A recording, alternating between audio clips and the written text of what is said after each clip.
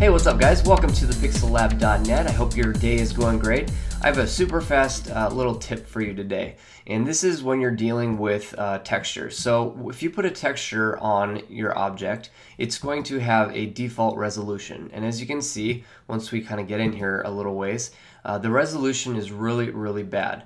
Um, so let's say that I have a certain spot on this map that I need to highlight, either with a ring or maybe an arrow coming out of it, something that is very specific on this map. Well, I can't really go in here and see any details on this map. So what we want to do is take this texture and make the resolution um, a little bit higher.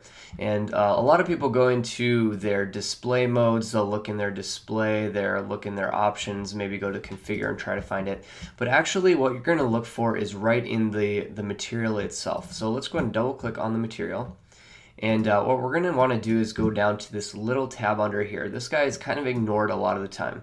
But if we go to here, there's a few options. One of the options is animate preview, which if you're using video, you'll want to check this on so that you can see your video in the viewport. The other one is texture preview size. And this guy is set to default, which is this resolution right here. But we can go ahead and change this to anything we want. If you're having problems with large textures, you might even want to drop this down to, to something really low if you don't need to see specifics and that might help speed things up a little bit. But in my case, we're going to want to up the resolution. So you can already see that just by checking that, I'm going to get a little bit more resolution.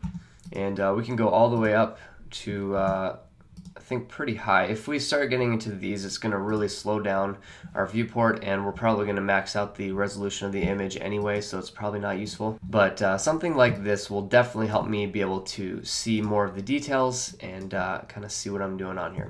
So that's just a really quick tip if uh, you're working with textures. Sometimes just being aware that it's a possibility is uh, helpful. So I hope that helps you guys.